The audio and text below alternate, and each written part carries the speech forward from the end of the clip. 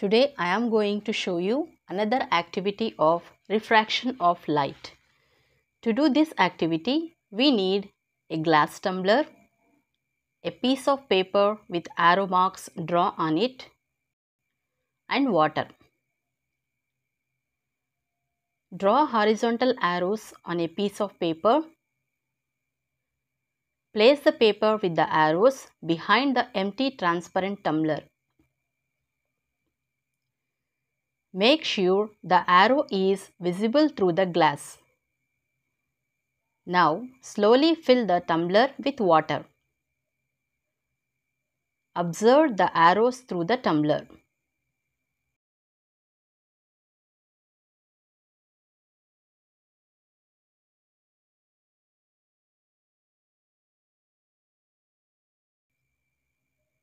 Initially, when the tumbler is empty, the arrows will appear as it is drawn.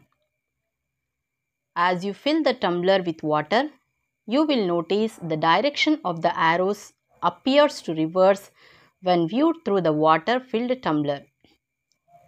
This activity demonstrates refraction of light.